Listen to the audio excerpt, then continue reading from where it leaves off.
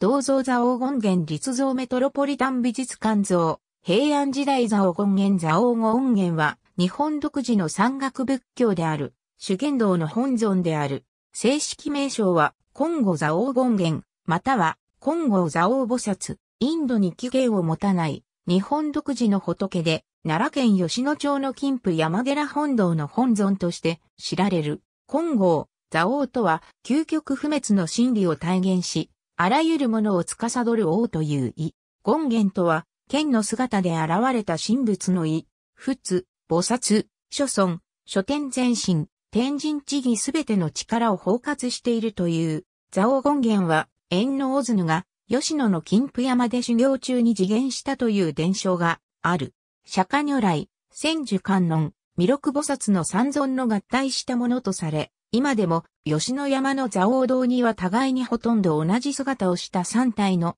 座王権現像が並んで本尊として祀られている。神仏集合の教説では、安官天皇と同一の神格とされたため、明治時代の神仏分離の際には、本山である、金府山寺以外の座王権現を祀っていた神社では、祭神を安官天皇としたところも多い。また神道において、座王権現は、大名ちの命、少なびこなの命、国の床たちの孫、日本穂高、金山彦命等と集合し、同一視された。そのため、座王権現を祀る神社では、主に上記の5組の神々らを祭神とするようになった。座王権現の造用は、密教の冥王像と類似しており、激しい奮土症で、土発点をつき、右手と右足を高く上げ、左手は腰に当てるのを通例とする。右手には三古書を持ち左手は頭印を結び、左足は大地を力強く踏ん張って、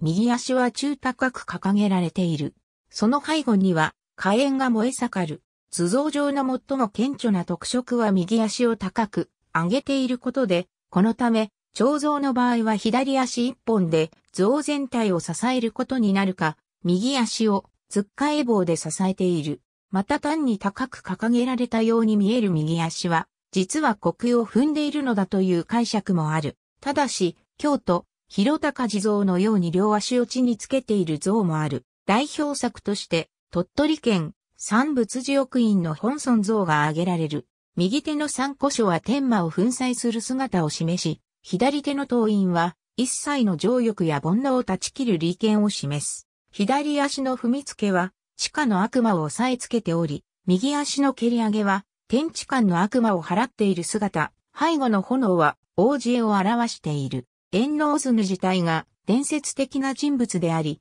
座王権現像の制作が実際にいつ頃から始まったのかは判然としない。死が石山寺には本尊、如意輪、観音の両脇地として、金剛座王像と周金剛神像が安置されていた。これらの像は、正倉院文書によれば、天平法事6年制作されたものであるが、正倉院文書には両脇記事の名称を神能としており、金剛座王の名称は平安時代の記録に初めて現れる。これらの像のオリジナルは現存していないが、金剛座王像の塑像の真偽が現存しており、右手と右足を高く上げた姿は、後世の座王権現像と似ている。吉野から出土した国宝の中道国が蔵王権現像は、銅板に宣告で、蔵王権現などの諸物を表したもので、長宝三年名があり、この頃までには、蔵王権現の図像も確立していたことがわかる。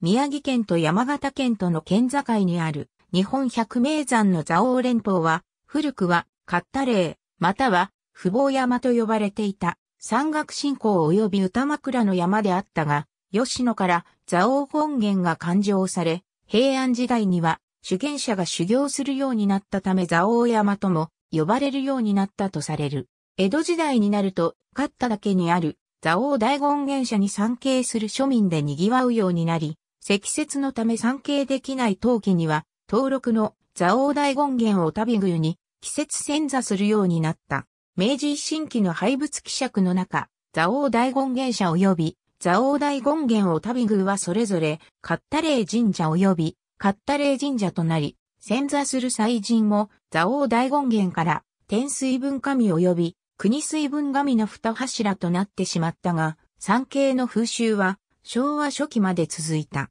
このように主言者から庶民へと信者の主体が変化したことで、蔵王山という名称が、カッタレイや不老山を凌駕して定着した。他方、蔵王連邦の原、山形県側では、熊野信仰が盛んであり、蔵王連邦の手法、熊野だけにあった熊野神社を中心に、祭六の二社と合わせて三社一宮で信仰を集めた。新日本観光地百選により、蔵王山が観光地として注目されたため、山形県側では様々なものを蔵王に解消することが流行り、熊野神社も1952年に蔵王山の神社に解消した。その他については、御嶽神社を参照。主事は、ありがとうございます。